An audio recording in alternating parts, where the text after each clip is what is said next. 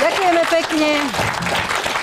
Ďakujeme pekne, príjemný dobrý večer, milí priatelia. Možno si pamätáte, že ešte niekedy koncom októbra som vám slúbila, že sa do konca tohto roku ešte určite budeme vidieť a počuť, takže mám veľkú rado, že sme to stihli, že je to pravda, že sa teda vidíme aj počujeme. Mám radosť aj z toho, že to ja nie je celkom... Budem hlasnejšie. že teším sa z toho, že to nie je celkom ten posledný deň v roku, že na nás nepadla tá obrovská ťarcha zodpovednosti za vašu silvestrovskú zábavu zábavu, lebo to je veľká ťarcha. E, teším sa, že sme tu opäť v takej našej tradičnej zostave, takže pani Olga Feldeková. A pani Milan Lasica, Milan Kňažko, Marian Leško, No tešila by som sa ešte viac, keby sme boli kompletní, teda myslím ako do počtu. Ale asi ste si to všimli, no, milí diváci, to sa nedá celkom utajiť. Chýba nám tu jeden, zatiaľ teda netušíme ani čo sa deje, ani prečo a či ani vôbec. Kto. Ani kto. Ani, ani kto. A či ale, je kompletný. A či je, či je kompletný, ale ako výroba musela začať, tak sme začali teda bez neho.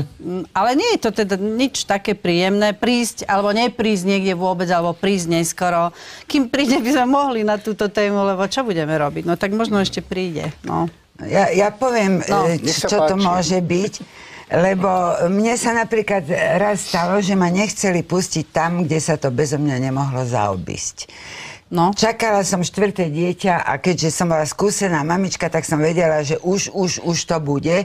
Tak som sa hnala po takej chodbe do e, tej sály porodnej a na chodbe sedeli budúce mamičky, vzdychali. A jedna taká mladá, zrejme prvorodička, neskúsená, vyskočila, postavila sa pre tie dvere a povedala, vy sa kde hrniete?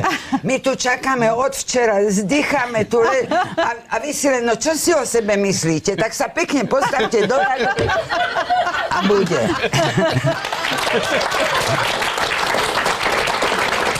Tomu sa vraví fronta na dieťa.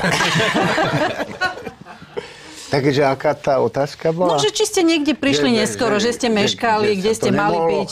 začať bezo mňa, hej? Tak, trebárs. Ja si pamätám, ja som inak veľmi dochvíľný, ale pamätám si len raz som mm. zmeškal vlak, keď mala vypuknúť oktobrová revolúcia, takže bola až v novembri. to ste boli vy? Mne sa tiež raz stalo, že to som dosť veľa robieval v rozhlase, to bolo niekedy v 70 80 rokoch a mal som tam dátum, ja neviem, 16. marca, o tej a o tej, nahrávanie. Tak som prišiel do rozhlasu a nikto. Neprišiel, neprišiel, tak som išiel na herecké oddelenie. Hovorím, čo to je, však to máte jasne napísané 16. marca, 14.30 nahrávame toto. No ukážte to. Ja to bolo pred rokom, pán. prišiel. Ne? Ale prišiel si. Áno.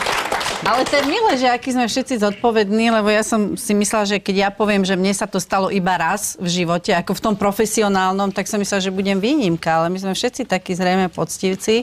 Mne sa teda fakt iba raz v živote stalo, že som prišla neskoro. Bolo to vo Vysokých Tatrách, v jednom hoteli som mala moderovať taký spoločenský večer, bolo to v zime, takže napriek mojej snahe som proste sa po tej ceste zamotala v snehu a neprišla som na čas. Zhruba pol hodinu som meškala, prišla som k tej rampe predhotelovej a už som to tak chcela urýchliť, tak tomu ujovi, čo tam stál, som hovorila, prosím vás pekne, ale ujo, pustite ma rýchlo, ja musím zaparkovať, ja tu účinkujem dnes večer a ešte sa musím ísť prezliec a nalíčiť. Buďte taký láskaví už, aby sme to nezdržovali. A on sa tak pokojne na mňa usmial, povedal, paninko moja, máte čas. Ešte tu není ani Vacvalová. Tiež mohla.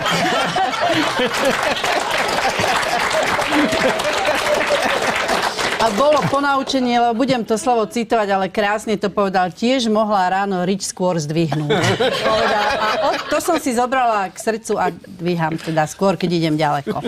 Aspoň vidíš, ako sa meniš, keď si nalíčená. Tá, tento Olgin postreh, no.